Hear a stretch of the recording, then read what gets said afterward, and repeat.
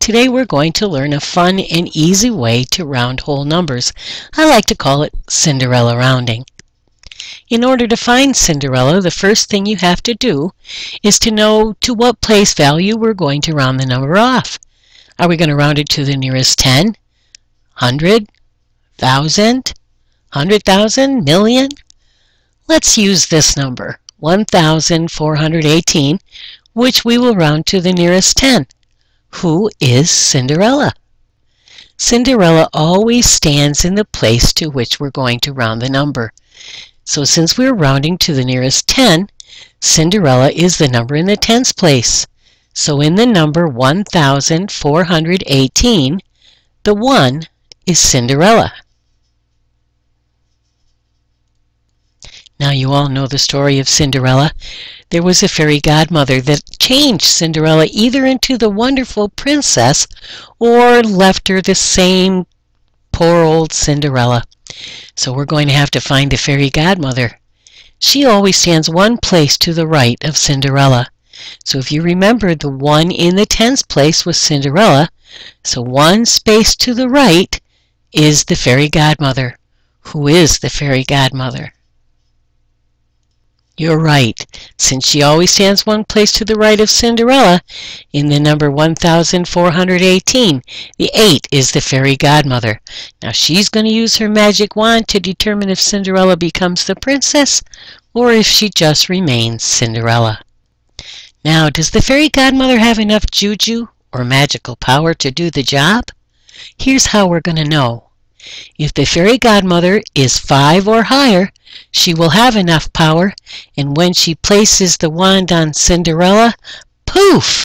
Cinderella moves up in the world, becomes the princess by becoming the next higher number. But if the fairy godmother is the number four or below, she won't have enough juju in her magic wand, and when she touches it to Cinderella, clunk, nothing. Cinderella just stays Cinderella, and the number doesn't change at all.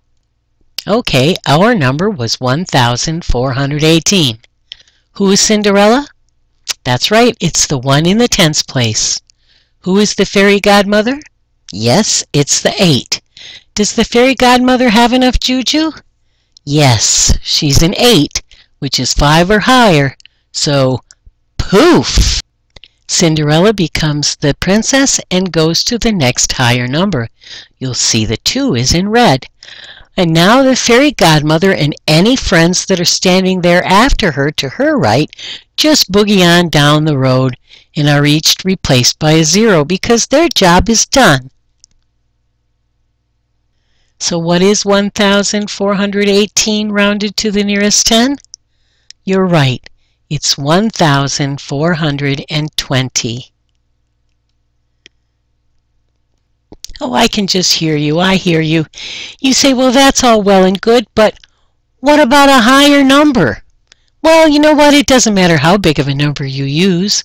There's only ever going to be one Cinderella. She stands in the place value to which you are rounding the number. And there's only ever going to be one fairy godmother.